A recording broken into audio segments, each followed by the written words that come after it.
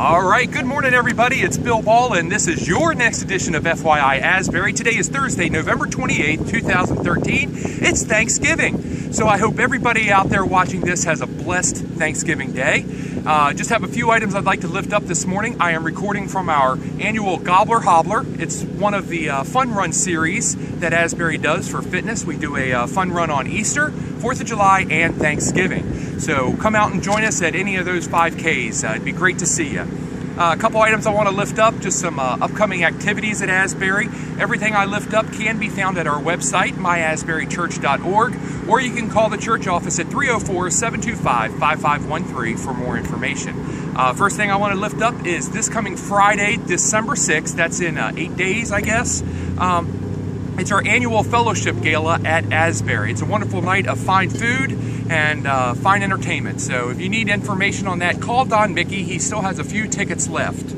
Uh, Saturday, December 7th, Asbury is participating in the Ranson Charles Town uh, Christmas Parade. So if you're interested in your child being in the Christmas Parade, please reach out to Kelly Miller.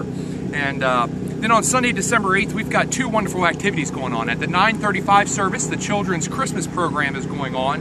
And then at 3 p.m., we're going to have a wonderful bell concert uh, at Asbury. The Sixth Dimension is going to join us. It's a wonderful Christmas bell concert. It's a great way to ring in the new, uh, the new Christmas season.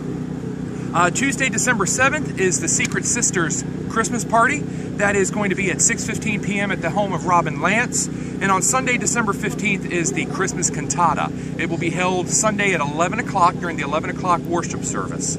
Uh, just a couple items. Uh, just remember every Wednesday through Advent, we're doing communion and prayer in the chapel at the church at, from noon until 1 o'clock. Uh, we're still collecting money for the Christmas dinner on Christmas Day. We have a wonderful uh, Christmas dinner for the whole community. Everybody is invited to join us.